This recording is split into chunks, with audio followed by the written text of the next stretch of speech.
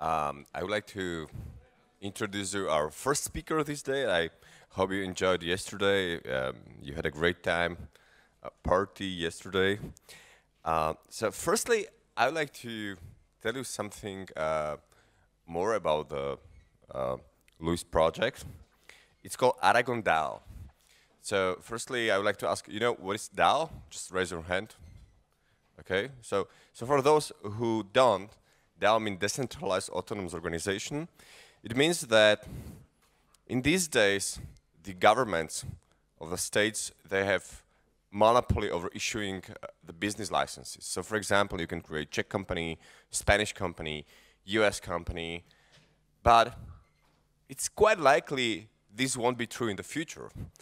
Uh, because now when you want to create any organization, non-profit organization or charity or company, uh, what you can do is just make a contract between the owner or between the founder of this organization, transfer it to smart contract, put it to blockchain, and create fully decentralized, unstoppable organization, which is called DAO. And Luis is the guy be, uh, behind the, one of the most interesting projects I, I tried uh, last year. It's called Aragon DAO. Uh, Aragon is a is some part of of Spain. Uh, Luis is from uh, from from from from Spain, and uh, he'll have a presentation about decentralized legal system. Uh, we were just talking a bit about this uh, decentralized legal system. Uh, personally, in the past, I tried Kleros. Definitely check also this project, Kleros. But I'm especially interested in the Kleros competition, which is implementation of decentralized court system uh, in Aragon DAO. So, welcome, Luis. Awesome, thanks a lot.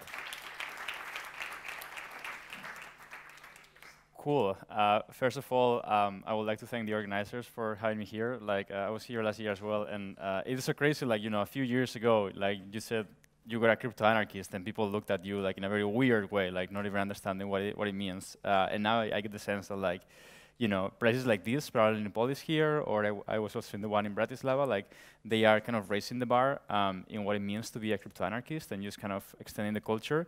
And I think that's pretty cool because I mean, like as crypto anarchists, we are we have a very important mission, and so part of the mission is realizing the things that are not working in the world um, and commoditizing them. And so one of them was currency. So you know, we looked at currency and we and we said, all right, it doesn't make much sense for this to be uh, monopolized by anyone. Uh, in this case, nation states. Let's try to look uh, for a way in which we can commoditize this. And you know, Bitcoin was born. Um, and then the next thing for uh, for me, like you know, I was looking at Bitcoin, and I was like, this is great. But then what if we could do the same that Bitcoin did for money and for a store of value, but for human organization. Like today, if you want to create um, a legal entity, if you want to organize with people, you have to go to this uh, intermediary, you have to go to this uh, entity that has the monopoly over human organization, which is also the nation state. You have to register a company, you have to register a partnership, you have to register your nonprofit. Um, and then there are like a bunch of like super hard to answer questions. For example, can a person in Argentina do business or uh, organize with a person in Iran? And usually the answer is, hell no. You don't want to even start thinking about how like that could work in a legal way, in a bureaucratic way, such as uh, the one that we have today in the traditional world. And so we built Aragon. And so with Aragon, uh, we just released the, um, the latest version a few weeks ago. Uh, it's a very, very, very, very easy way to create decentralized organizations. And there is a lot of complexity that I can talk about in the way we make this fully unstoppable and censorship resistant. Um, but I, I, think that you can just go to app.aragon.org and experience it by yourself. It is very, very easy. And it is certainly easier than creating any kind of bureaucratic organization in the traditional world. So I invite you all to try it out. But then what comes next after commoditizing organization, after commoditizing human collaboration? And so we were looking at it from the perspective of, all right, let's say that you know Bitcoin succeeds, let's say Aragon succeeds, let's, let's say we have all of this infrastructure to commoditize money, store of value, human organization, and collaboration what does come next? What is the next huge monopoly that we need to disintermediate for the world to be more free? And we came to the conclusion that that was uh, the system of law. That was, uh, in this case, um, what I think is very important is to have a system of law that is fully decentralized and global. And so we said, all right, a system of law is great, but what does a system of law really imply? And so in this case, a system of law uh, gives you security over um, certain things. For example, private property uh, gives you security and certainty over contractual relationships. And in some ways, smart contracts already do this, uh, but not to a full extent, because smart contracts cannot really cover everything that um, a human contract can have. Smart contracts are very self-referential, and I will talk about that in a bit. So we said, all right, in a world in which uh, you know, Bitcoin and, and, cryptocurrencies succeed, and then Aragon and decentralized organizations succeed, what is going to be the next thing that is needed? And we said a decentralized court, a decentralized system of law. And so um, we got started from the, from the place of having a manifesto. So I think manifestos are very interesting um, because they reflect the pure intent of an organization, of a project. And so um, I got heavily inspired by the Mozilla manifesto, uh, when writing the Aragon Manifesto. And the Aragon Manifesto is the manifesto that basically unites all the Aragon community around a shared common vision of the world. And so I think that's very cool because it's the pure state of an organization. Like it's, it's almost like the, uh, the vision, the high level of what an organization should do. And so when we look at all of these companies that are uh, just kind of terrible from a, from a human um, point of view, I, and we look back to like their origins, they usually have like very cool story, very cool origins, uh, almost like a manifesto. And then over time they got corrupted, and then like we don't really like they don't really identify with that first manifesto in the first place. Um, and so that being said, you know, we have like that point to start with, that, that manifesto. That for me is in some case is like the high level bylaws of an organization, right? So you have the manifesto, which is the vision, and then you encode that into bylaws. And the bylaws are actually how an organization should work to accomplish that mission, to accomplish that manifesto. And so right now there are a couple kinds of code that we can, uh, uh, ways that we can encode that manifesto, that vision, that purpose into actual like bylaws, into something that creates a human contract so we can all operate in this organization to achieve that manifesto or that goal. So one of them is dry code, and dry code is smart contracts. So um, I guess we're all familiar with smart contracts uh, in, in platforms like Ethereum, in which you can encode an intent. So for example, let's say um, you want to encode a vesting contract. So you want to encode a vesting contract so that a founder or an employee or any kind of contractor or person can gradually have more and more tokens in your project or shares in your company or whatever. Uh, so they are incentivized to uh, actually be there in the, in the long haul, in the long term. So for this, you can go the traditional route, which is you have like a human language contract, and then someone like each month, something like that, there's an operations person that sends more shares or more tokens to this person, or you can create a smart contract. And so you can create like literally like like 20 lines of code that basically encode this logic. And then there's no human intervention at all. You just put it on the blockchain, and then each Ethereum block, for example, each 14 seconds, there are like new tokens or new shares minted for this person, created for this person, and sent to them. And that's fully censorship resistant, and there is no way that there is like some human corruption that breaks that. And so that's really great. Um, it has some issues though. Like, you know, as I said, like it automates everything away, which is great, it reduces costs. Um, and what you what you see is what you get. So you can take the smart contract, send that to anyone, and it's like you know, the way the contract works, that's it. I mean, there can be errors, uh, which is one of the downsides of smart contracts. Something like the DAO, in which uh, the human programmer fails to encode that in a way um, that reflects the original intent. So you may encode a vesting contract, and then suddenly uh, put something in there that doesn't do vesting, that instead like burns all the tokens and destroys all of them uh, which I mean definitely can happen. Or you can have even errors in the compiler. So like you know all of these things there are there there's a bunch of technology that is almost like black boxes for a lot of people because as a, as a programmer you just write the code. Um, and then things may fail. So that's obviously something that uh, is kind of a downside uh, and is very experimental technology anyway. Um, so it is also very inflexible. So like in a human contract, in an English written contract, like basically language is like you know uh, your your barrier, and with theoretically with human language you can express everything that can be expressed. Um, with code, sometimes it's not like that uh, because it's very hard to encode very like subjective clauses. Like everything is very objective. You cannot encode like subjective views of the world. And then also it's self-referential. And so what that means is that Ethereum or any like blockchain that can execute the smart contracts knows about what's in the blockchain, but doesn't know about what it's outside. So the example that I always put is, um, you know, you want to hire an employee, you want to give them hardware, and you want that hardware to be returned once the employee leaves. And so um, the blockchain doesn't know about hardware. The blockchain doesn't know about like the meat space, doesn't know about this table or this barrel of water. So um, obviously, like you cannot encode that in, a, in like a smart contract. But then we have wet code. Uh, by the way, dry code, wet code is like the, uh, uh, the terms that Nick Szabo coined for, for defining these things, and I think they are very interesting. Um, and so wet code is uh, human language, basically, like the contracts we are all used to uh, in the traditional world.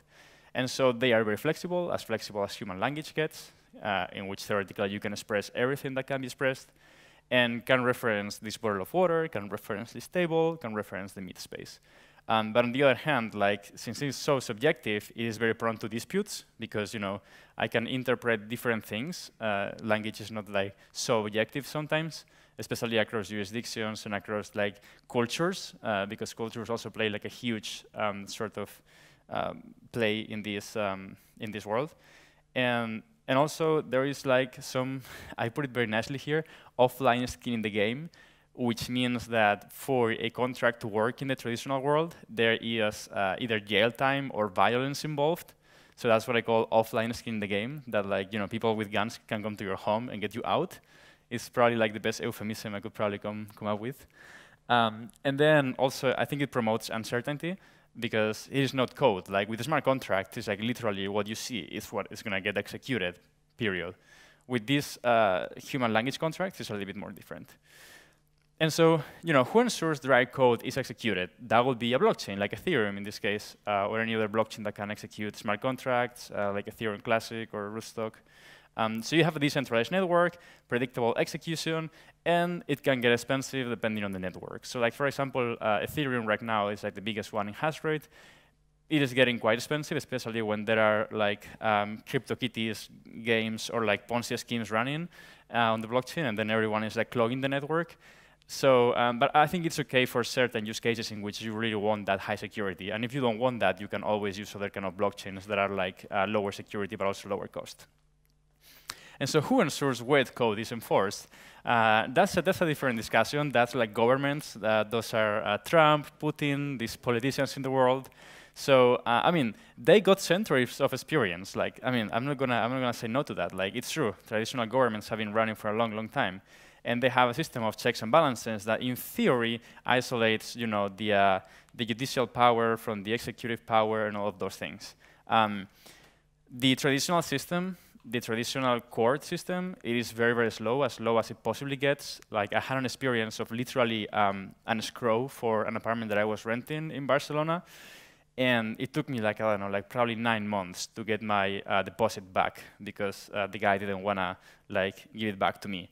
And with a smart contract, you don't even need that. It's just like literally like this is the scroll, uh, this is the party that like verified that the transaction went okay, you get it back, boom. No nine months and like hiring lawyers involved. It is extremely expensive. Like sometimes there are disputes in which you are right. So there was this uh, this dispute of like some food intoxication, and a mom uh, lost uh, her her kid, and so literally had to like spend, I think, a million dollars in lawyers or something like that to take on, it was a big corporation like Nestle or something like that, to take on this corporation. And it was like 12 years until the case was resolved. So it is very expensive, very slow. Um, and at the end of the day, what that does is it reduces fairness in the world because you have a fair outcome. And to get there, you need to spend a million dollars in 12 years. And that's just terrible for, I, I don't know, like imagine that mom, it's just like terrible. Um, it is local and hard to navigate. So if you if you have run an organization that has people all across the world, like for example Aragon One, um, my my team working on Aragon's development, we have people across I think like 20 different jurisdictions or something like that. So like it, it is it is very hard. Uh, each like country has its own kind of regulations, and so um, it's just like you know not easy to navigate. And then there is unlimited liability, which means you know people with guns can come to your place, and in some places they can actually like just kill you, uh, sentence you to death penalty, and that's it. So, uh, what if dry and wet code had a child? It is a, a little bit of a joke. I think I think John from my team called it the ether trump, which I which I actually love. Uh, this is a little bit scary. Um, so uh, just don't have nightmares with the ether trump. It looks pretty nightmarish. Um, no, but just kidding. We're not going to implement the ether trump. So, uh, you know, if those kind of two systems had a had a um, had a kid, I think it will be like a decentralized system of law. And so, you have a system of law that is secured by crypto economic incentives. So, like, no one can like you know get thrown in jail or be sentenced to death penalty. Um, it would be orders of magnitude faster because we can use crypto economic incentives and we can use technology to basically make it faster to make sure that this resolution is way faster, way cheaper because we are commoditizing it. We're taking it away uh, from a monopoly to actually, you know, making it something that can be forked. So like you have a court, if it is not working or serving well its purpose, it can be forked. There can be more efficiency, and when there is free markets and more efficiency, uh, things get cheaper, they get faster, they get better and also community governed because like for example in this case the specific court we are working on the Aragon court is going to be governed by ANT holders holders of the Aragon network token. Uh, so it's going to be basically governed by the Aragon community. You can also fork it and make it governed by other communities uh, which I think is very very important um, and then the only drawback is, you know, this is very, very experimental bleeding edge technology. Like we are pushing the boundaries of what can be done with the smart contract systems. So it's interesting because we are using a smart contract platform and smart contracts to implement a system of law um, that interprets wet code. So it doesn't interpret smart contracts. It interprets, uh, like, you know, basically um, human uh, written contracts. And so um, I want to get back to like decentralized organizations and why this makes sense for decentralized organizations and, for Aragon in particular. So decentralized organizations are very cheap and, uh, and, and, easy to maintain and be created. Uh, they are pseudonymity friendly. You can interact with decentralized organizations without having to KYC, which for me is like so, so important. Um, there is total execution certainty. You can know that if there's a vesting contract implemented or a payroll contract in this DAO, in this decentralized organization, it is going to get executed like that. There is no corruption or anything like that in the, in the middle that can make things worse. Um, and the problem is that, as I said before, it is dry code, so it is very hard to like encode subtleties of, of, of the human uh, mind. And also, and here is the interesting point, it is uh, susceptible to 51% attacks. And so what this attack entails is that imagine you have an open DAO. So for example, let's say the DAO back in the day. Um, and imagine this DAO has a mechanism in which token holders can withdraw funds from this DAO. So here you may have a 51% uh, majority of the DAO saying, hey, I want to take funds from this DAO A, and I want to I, I wanna put them into this DAO B, for example. And so this DAO B is used 51% of the token holders of this other DAO. What happens with the other 49% of token holders here? The minority, like stakeholders, maybe they are not paying attention, maybe they just hold the token, but they don't do much about it. What happens is that a vote will go through in this DAO, 51% of the attackers will get the funds out to their pocket, and the other 49% in this DAO A just gets kind of screwed over. And that's it. So that's a very important um, attack to resolve is we, if we want open DAOs, which I think are the interesting DAOs, open DAOs in which anyone can buy a token and participate in a pseudonymous way to actually flourish. So uh, what are we solving here with this court? So we're solving, um, well, the, the couple things that I just mentioned, and we are solving as well the fact that traditional courts are very slow, they are very expensive, and they are just kind of a, a pain in the ass to interact with. Um, and so we can use smart contracts to make this way more efficient. So basically, what we are doing uh, is creating a system of law and creating a court, as you know, courts exist uh, with jurors and with uh, with appealing systems that you can appeal if you are not comfortable with the result of your first ruling. And we are building all of that using smart contracts and creating like basically the world's first data jurisdiction along the way. Because if you have a system of law, you basically have a jurisdiction. So a glimpse into the future.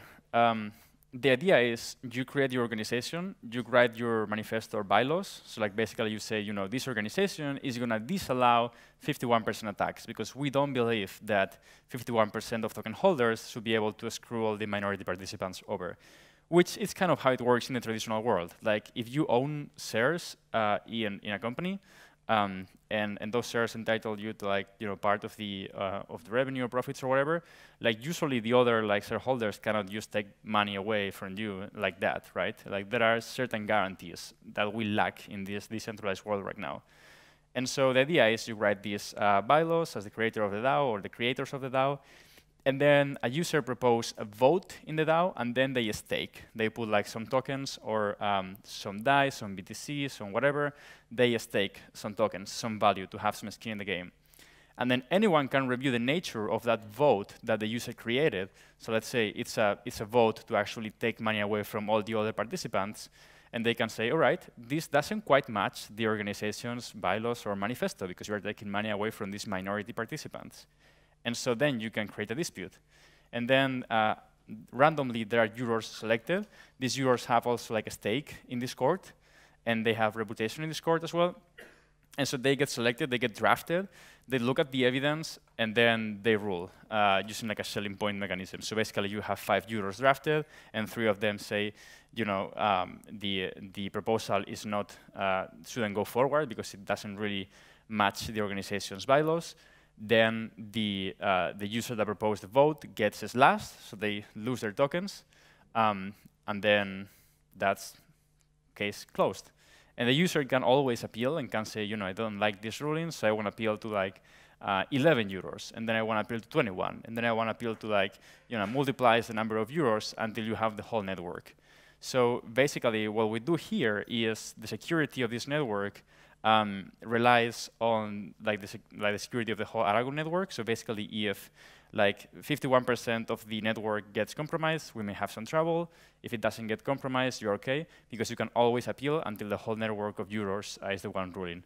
And even with that, there is like another mechanism to make this even more secure, but that gets into the realm of like uh, forking two courts at the same time and having them competing using Futarchy, which is like a super novel governance mechanism. So I don't want to get into that because that's like that's like the bleeding edge of like the bleeding edge of like the bleeding edge. Um, so uh, right now, how it works is uh, there is this token, and so it's the governance token for the whole project, um, ANT, and it is the uh, uh, the governance of the project itself is going to use the court because we have this very interesting use case where we need the court for ourselves. Like right now, how it is set up, the whole project is there's this entity, this legal entity called the Aragon Association, and there is this process for any token holder or any person in the community or in general anyone, uh, even pseudonymous participants, to propose changes to the project. So they can propose finance proposals uh, to take money from the, um, from the project's funds and spend it into like a development team or something like that. Um, they can also choose to change the governance mechanism itself. They can choose to do proclamations. So, for example, uh, the network did a proclamation that February the 10th is the is Fight for Freedom Day. It's like Aragon Day. Um, and so this this network, this DAO, can do many things. But right now, since the funds come directly from the Aragon Association, this legal entity that did the token sale back in the day, we have the issue that this legal entity has to like respond to like a traditional legal system. So this entity is a centralized point of failure right now because it needs to curate these proposals. So if there's a proposal um, that some participant sends, which is, for example, you know, send money to this team or send money to this other team for development, um, then the association makes sure that nothing legal is going there or totally immoral, and then curates and gives their check of approval, and then that goes into the vote so the whole network can vote. The issue there is obviously that's not decentralized. So what we would like to do is write the things, like the kind of blacklist of proposals that shouldn't go through, um, publish that, get that into a vote, so the whole network votes, and once they vote on it, it's going to be the court, the one that curates proposals. So this Aragon Association, this legal entity, can basically disappear, and the whole thing would still work.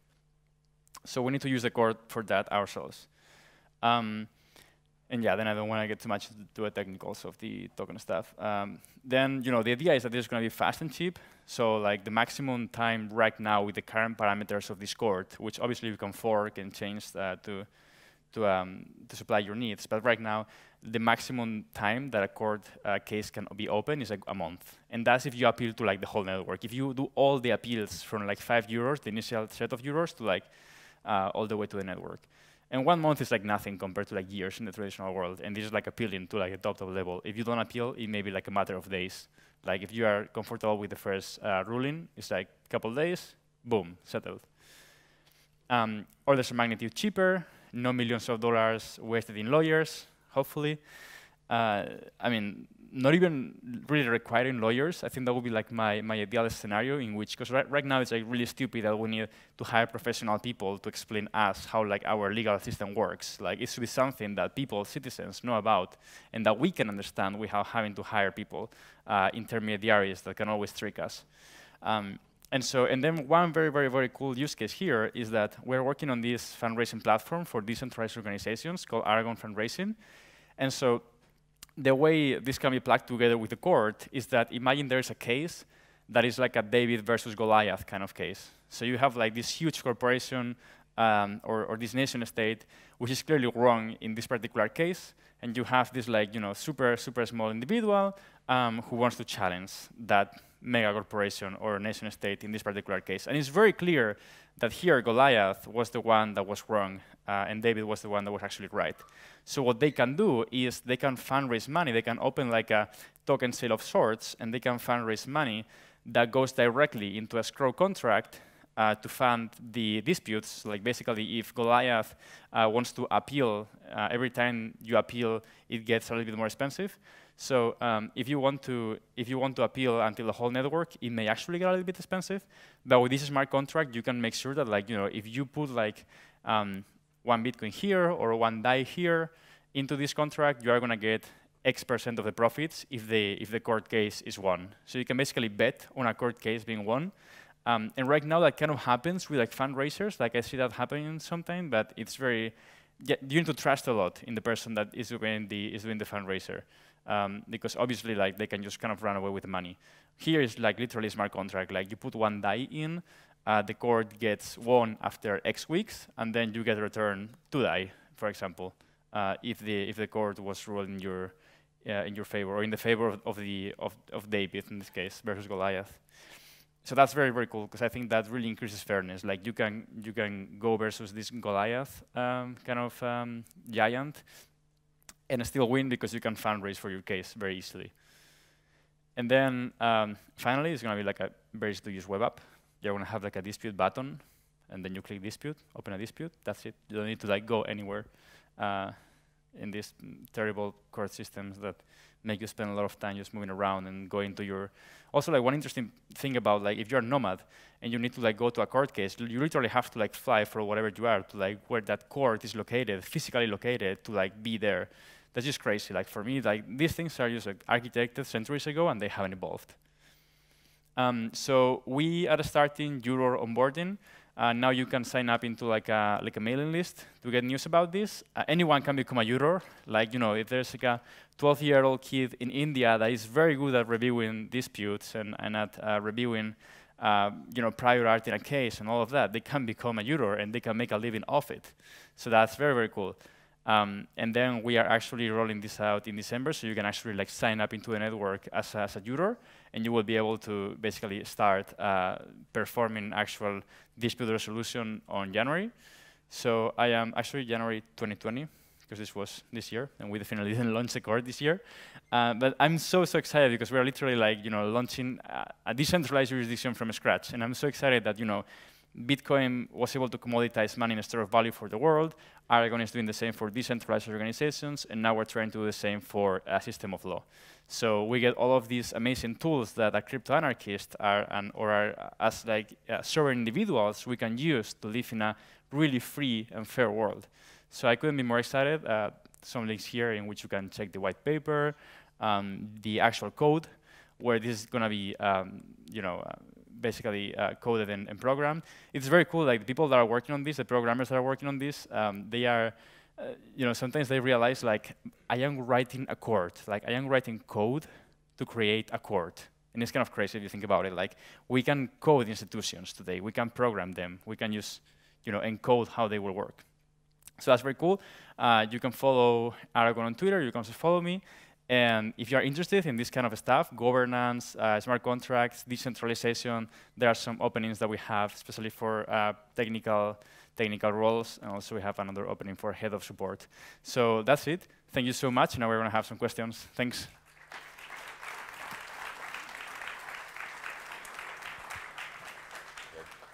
Okay, Luis, thank you a lot for your interesting presentation. It's time for question and answer. So, yeah, we have a question here. Very exciting work. Um, aside from staking, what have you explored for decentralized identity? It seems to be an important element to uh, a legal system. Yeah, um, in terms of identity, we haven't worked so much in like our own solutions. We are trying to rely on other people that are working on it. So um, I think there are on the metadata space, so like being able to use basically like put a face to someone uh, or, or, a name to like an Ethereum address. There is uh, there are a couple of alternatives. Uh, one of them is 3Box that I'm very excited about. Um, so you can have your own profile and your own like activity feed. So instead of like interacting with 0x123, you can see like the metadata of this person that you're interacting with, maybe even like connect their socials, so you can uh, rest assured that like this person is the one that you want to interact with. Um, and then in terms of like more kind of reputation, web of trust kind of model, uh, there is one called BrightID. They're working on basically like a web of trust kind of identity uh, system. In our case for the court, we don't necessarily need, that so much because uh, we actually just relying on uh, pseudonymous participants. So we don't really need that so much. Like uh, basically, we need to keep track of like a juror's uh, reputation in the network. We need to keep track of the stakes that a user has, but we can do that with just basically like their Ethereum addresses. Thanks. Thank you for the talk. I have a question. How are you going to ensure the fair trial uh, within one month trial, including all the appeals? especially in the cases where the evidence process is complicated. So let's say you have 5,000 pages of documents to go through and uh, consider if they're right or analyze them. What are the principles and instruments to ensure it? Thanks. Yeah, that's a good question. I think for uh, when things get more and more complicated, like right now we are targeting simple cases like this 51% attack protection, when there is more and more prior art, because at the end of the day, like what's going to happen with this is uh, people are going to start resolving cases, and that's going to create jurisprudence, and so that will like, really arise complexity. So um, I think stuff like you know 5,000 pages really seems very hard to do for like five uh, jurors in like two days, I think. So definitely, if that happens, we may need to like tweak the parameters, uh, so like it takes more time. I mean, I would really like to see a world where like there is no like 5,000 page contracts to start with because a lot of this can be taken care of by like smart contracts and everything that is like very objective we can uh, just put it there and we like really use this as, as, like a last resort kind of mechanism for things that just cannot be encoded in smart contracts. But I definitely think that if that happens, we will know, gonna um, need to like tweak the parameters in the court maybe. Thanks. Uh, here, thanks for the talk. Uh, I really love the idea. My question is, uh, how is the governance token distributed? Mm -hmm. Yeah, so right now I think there are like 20k um, token holders. Uh, we that token sale back in 2017, and um, I think a lot of that is just kind of distributed across like community participants. Uh, I think a lot of people also are like from development teams. So this Aragon Association entity owns I think 20% of the supply and just gives grants to like development teams that are actually building it.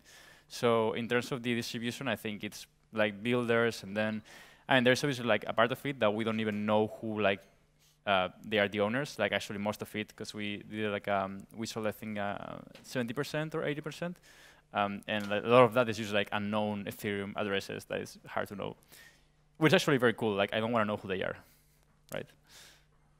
Uh, hey Luis. Thank you very much for the presentation. Uh, I'm a very big fan of every single decentralized court idea and stuff like that. I'm a lawyer myself, and uh, I have basically thousands of questions right now, but there are two really very important ones. And the first one, how are you going to ensure the quality of the jurors? That's the one. And the second one is the enforcement. Because if I understand it correctly, right now, um, you basically ensure the enforcement of the decision by locking the funds into a smart contract before the case actually starts. But it's not how it works in reality right now. So let's say I have a dispute with an Indian company and it's about 100,000 euros. I don't have the funds to lock in to the smart contract before the uh, you know court proceedings actually start. So how are you going to solve this problem? Thank you. Yeah, for sure. So on the on the second one, um, you don't need to like pull the money up front for appeals. So let's say there is just like uh, the the first round, then you need to just put up the like stake for that first round. If you want to do like subsequent appeals, then you can put the money there. But what is actually a, a very a very good point there is that uh, both participants like they have uh, a stake put, and they cannot lose more than that. Meaning that you know if if you got into an agreement with like a freelance developer to build a website and you want to insure up to like 5k um, dollars or whatever, uh, and both participants put the same amount, that's the maximum amount that the court can take away from them. Uh, so there is no like you have to make sure that basically what you put uh, in, in, the stake is like the maximum amount that you are like able to like dispute. Um, because you cannot, like I said before, like you cannot take someone to like jail or you cannot like you know point them with a gun. So that's kind of the of the trade-off uh, that we're making. Um, and then on the on the first point, how do we ensure quality of jurors? Uh, like crypto economics kind of do because if they are not able to perform, they're going to lose money. So like in a rational world, eventually they are just going to like stop being jurors. Um, so that's that's the way that we make sure of their quality. Thanks. Hi, thank you for the talk. It was very interesting. Uh, I was working on Bisq for a while, and we also have a kind of dispute resolution system, so questions like this came up. I, I have maybe one remark and one question, and the remark is that, so this is like a court for internal Aragon matters, and, and not every dispute that I have in life in an organization goes to court. Sometimes, very often, it was solved inside the organization, and then it was done very quickly. Um, so it seems to me like a good way to solve disputes in a decentralized organization, not necessarily in, in, in, a, in a court between random people, which is a bit different thing, but it's just my point of view. And the other questions, as you pointed out, the court system is slow. We have lawyers, it's expensive, we have courts, it's overwhelmed. But, but, this is not because of the jurisdiction issue. This is because you need to phrase an agreement which shows the intention between two individuals in a way which is understandable for everybody. And not everybody can be a judge, even if you do the appeal system, which is supposed to ensure that if one layer makes a mistake, you can appeal. And I'm, I'm not sure what will happen in, in your system if it starts to be popular and it, you, will, you won't find that you reinvent the wheel. So that's kind of a question if you're not afraid of it. Mm -hmm. So do you mean like if if jurors, if you if we cannot ensure the quality of jurors, you just get like populated with like a bunch of random people that don't know how to rule? So you would need somehow to phrase the agreements which are being courted. And how do you do that eventually without lawyers in the way that the people who judge us, which are mm, the jurors, okay, understand okay. it? And then yeah. the quality of the jurors, I mean, there is a reason that not anybody can be a judge in, mm. in, in classical court, right? Yeah, yeah, I'm definitely not worried about that in the sense that they will just lose money if they are not uh, good jurors. Um, I am definitely concerned about how to encode the agreements in a way that is understandable. Like, I mean, I think a lot of the a lot of the parts why we need lawyers today is like cross jurisdiction kind of trade. Like, I definitely disagree on that. I think that's a huge part of it, and, I, and I've been working on on that with some lawyers, and it's just like a pain in the ass uh, to deal with all of this complexity. But I do think that on the other hand, like there is a need to encode that into like something, some, human readable agreement that everyone can understand, and that's why sometimes we use lawyers. Um, I hope we can automate a lot of that uh, with stuff like AI and just kind of you know creating agreements or reusing agreements or open sourcing them. Like a lot of uh, today's agreements for at least startups, for example, uh, you use basically copy and paste like existing ones because you can like open source them. So I hope we can. I mean, I, I don't think we're going to get rid completely of lawyers um, like in the foreseeable future, but I think we can really like reduce the amount of lawyers uh, and their cost that is needed in the future. Thanks. Do you have any plans to done do trials or tests comparing your mechanism to some other mechanism in some sort of controlled environment to show yeah. that it actually works better than something else? Yeah, definitely. I mean, the, the, the cool thing about this is uh, you can model it. You can you can create agents, uh, like rational agents that start trying it out. But I think the, the best way to actually try it out is launch it and see how these disputes work. Uh, so I think we're going to get a sense of that like as early as Q1 next year. And I'm super excited. I mean, it's a huge experiment, right? So like it may fail the first time, it may fail the second time. Uh, but I think the, uh, just creating like a decentralized court, uh, we're going to learn so much. Over here. Um, it's very interesting. I, I, realize right now that you wouldn't uh, try any murders or this kind of dispute, of course.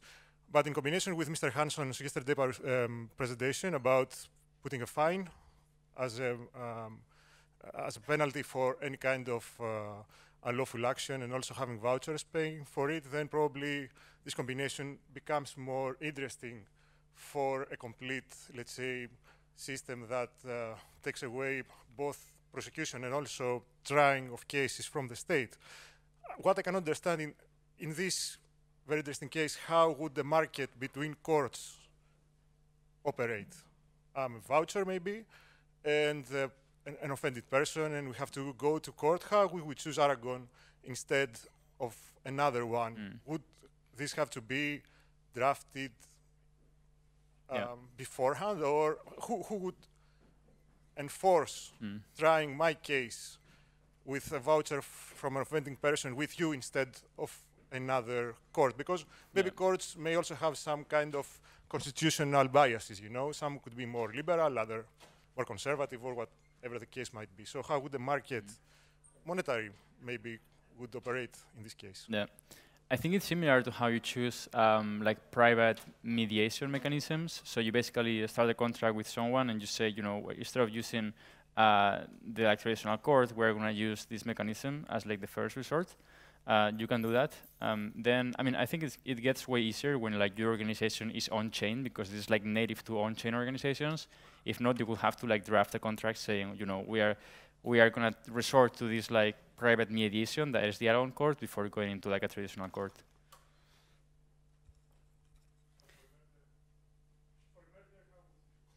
For a, for a murder? I mean, definitely that wouldn't work because, like, I mean, this has limitations. For example, murder, like, you cannot.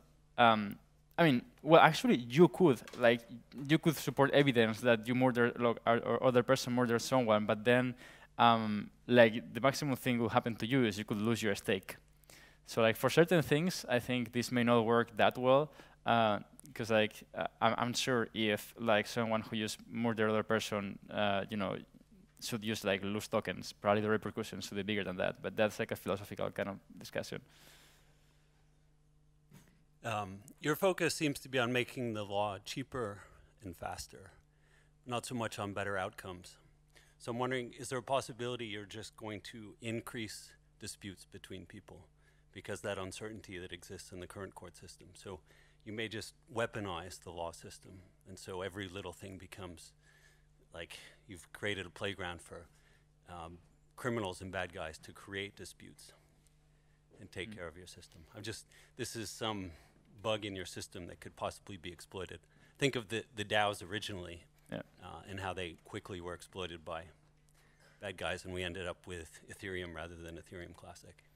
How do you see that it doesn't focus on uh, so much on like better outcomes, or is it like a perception? That's my perception from okay. the talk. Yeah. Yeah.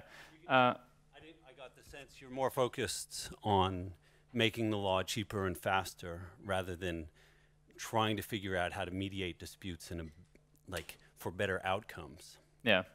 I mean, definitely better outcomes is like very, very important. It's actually like I would say number one thing. Um, I just focus on the other two because that, like in a comparative way, like I would say the court system we have today resolves like focuses on better outcomes uh, a lot. So I think the issues that it has is more like around efficiency. So that's why like I focus much on that compared to like the other other stuff. Um, I think in terms of outcomes, uh, we will just see how it works, but I wouldn't necessarily say that it's going to have like worse outcomes than the traditional uh, court system. Like, if any, I, I, I think there is one uh, core principle why they can be better, and it's that uh, being like a global court, like I think the results are going to be more like canonical and less local, which may be like good for some cases or bad for others, but I think in general for like I don't know like freelancing or stuff like that, it's like nomad kind of thing is going to be better. Okay, so I haven't read your white paper, so maybe I don't understand about the better outcomes. But have you thought about the economic incentive if you make it cheaper and faster? I think many of the reasons people don't enter into legal disputes is the huge cost. Yeah. Right. And if you make it cheap to sue your counterparty, um, you could create a, firestorm of legal disputes. Yeah. yeah, I mean, it's not only the cost, but also what you lose in the process. So, like your stake uh, so like the cost is obviously low, but like the stake you may put is actually high. Like let's say uh, you're interacting with a very important contractor of yours, and you have like a huge stake of like a hundred k dollars, then you may lose that and you like go into a into a dispute. So you still have the incentive of like not going into a dispute. Um, I think what we are doing is commoditizing it. So certainly it will be easier if you want. Like you, you could literally create like a um, like a stake of like one dollar and then going to a micro case uh, for like that one dollar. Um, I think maybe there is not much incentive to do that because like the cost of like going through a process is going to be bigger than like the dollar deposit that you put. Um, but yeah, I mean, it's kind of hard to, to answer how this is going to work out. I think we're just going to see in like a few months. Uh, so I have a question more about uh, the um, the quality of the ruling. What are the mechanisms to remove the bias of the jurors? I, is there any, or remove the bias? Yes. So okay. let, let's say I'm asking for ruling, but the person that will be ruling could be biased in, in the mm -hmm. in, in the outcome. Yeah. So uh, there's this Schelling point mechanism where, for example, let's say you have like 21 jurors that are ruling your case. Uh, you will need a majority, so like um, 11 of them to rule uh, for an outcome, for that outcome to be accepted. Um, so if there is just one that is biased, then that doesn't really matter so much. Uh, if the 21 of them, or like you know 11 or 12 of them are biased, that's a different thing, and you may have to like appeal to the next uh, to the next round of jurors, which is going to be drafting more and more jurors, and you have the whole network. And so basically what you have to rely on or trust on is that 51% um, of this network uh, is not going to be biased. And I think if they are global participants around the world, like uh, the likelihood is that they are not going to be biased. Uh, but certainly it's something that we have to care of when like onboarding jurors, make sure that there are a lot of them, and also that uh, they are pretty global and like from different backgrounds. Hi, Th thanks for your talk. Um, is there a way you can bribe the jurors, like in traditional systems with jury, right. juries are used? Yeah, I mean, you could definitely do that. There is um, there is an interesting uh, mechanism which I don't know if I recall correctly, but it's something like if you can predict the outcome or like the vote of a juror before it's settled, you can like slash them, so you can uh, you don't you don't get that. Um, you can like prevent a little bit of that incentive of like them communicating beforehand but you can certainly bribe them. The thing like that comes back to, and actually you can do like better bribes because it can be like an on-chain bribe, so like it's literally like a smart contract bribe kind of thing, um, which th there is no trust involved. But the thing there is, as I said before, like if you have like 21 jurors, for example, you will have to bribe 11 of them, and even with that, you can always appeal to the next to the next one. So like you will end up having to bribe 51% of all the network, um, and even with that, there is this like uh, kind of like um, key fork mechanism that I was sort of like talking uh, about before, which I mean I can go a little bit in, in detail, but basically it would create two different courts and then uh, decide on the price of the native token of the court. Uh, in these two different courts, what is the price that is higher? And so the price that is higher, you could assume that is the court that is actually working because everyone in the system it's it's in because they believe that the court is going to work, and so the price is higher. You can basically um, use the bank the like shorter the, the like um, the like other fork and go in this direction. So basically, TLDR is that you have to bribe 51% of the network, and even with that, there is this like last resort mechanism uh, which is forking it into two different um, courts. You mentioned uh, onboarding jurors. So is there a specific process, or is you just need to hold the token and be a juror? Uh, right now, I think we literally have like a mailing list for them to like uh, sign up for news. Uh, but then in December, what we are gonna have is uh, this bonding curve. So basically, this how to say um, this way in which you're going to be able to stake ANT, so this uh, Aragon Network token, to get ANJ, which is the Aragon Network jurisdiction token, which is like the, the one that jurors use. And so uh, we have like these two to like isolate crypto economic incentives, so like we don't like like super weird different incentives. So the uh, you will be able to get like this um, this token that will allow you to be a juror basically in the network. Yeah. Okay. So any other questions? Okay, if not, I would like to uh, thank you, Adele, for your for your question, and big thanks to Luis for his interesting presentation and and comprehensive answer. Thank you a lot, Luis. Yeah, thanks, man. Muchas gracias.